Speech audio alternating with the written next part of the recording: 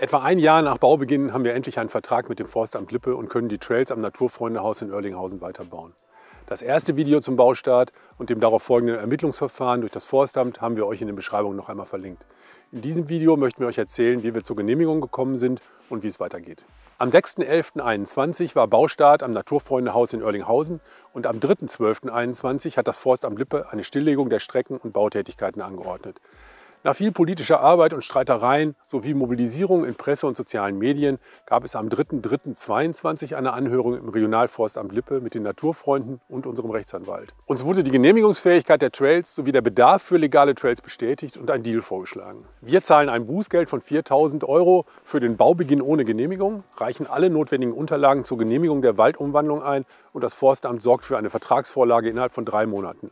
Um jegliche Verzögerung zu vermeiden, haben wir den Deal zähneknirschend akzeptiert, das Bußgeld bezahlt und bis zum 5.5.22 alle notwendigen Unterlagen eingereicht. Das Drei-Monats-Versprechen wurde nicht eingehalten und die Kommunikation mit den Beteiligten aus dem Forstamt Lippe und den regierenden Parteien in Oerlinghausen war nicht einfach.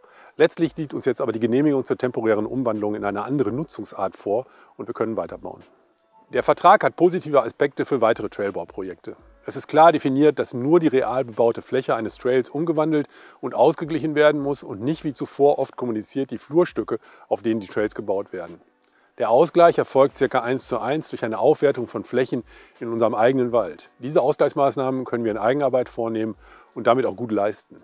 Es ist aber schwer zu verstehen, warum temporäre Rückegassen und dauerhafte, geschotterte Forstwirtschaftswege in vier Meter Breite ohne Waldumwandlung in die Wälder gefräst werden dürfen, für gemeinnützige, temporär genehmigte Mountainbike-Trails aber ein Ausgleich für die versiegelte Waldfläche gefordert wird. Die Gesetzeslage ist bezüglich legaler Mountainbike-Trails unklar und wenn die Forstämter wollten, könnten sie diese auch ohne Ausgleich genehmigen. Sie haben das in anderen Fällen auch schon getan.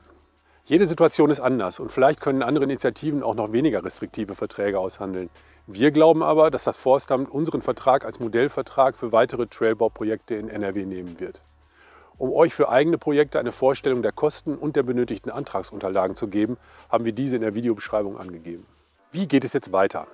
Nach der offiziellen Eröffnung werden die Strecken frei zugänglich sein und allen zur Verfügung stehen.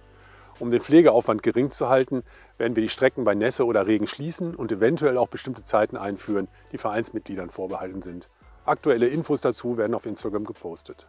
Der Bau und die Genehmigung der Strecken hat viel Geld gekostet und wir hoffen auf viele neue Mitglieder und Spenden, um das alles zu finanzieren. Werdet Mitglieder der Naturfreunde Bielefeld, spendet Geld oder Werkzeug, meldet euch, wenn ihr Baumaschinen zur Verfügung stellen könnt. Und auch diejenigen, die beim Bau und Pflege der Strecken mithelfen möchten, können uns gerne anschreiben. Die E-Mail-Adresse findet ihr auch in den Beschreibungen. Ich wünsche euch und uns viel Spaß mit den Naturfreunde Trails. Wir gehen jetzt erstmal feiern.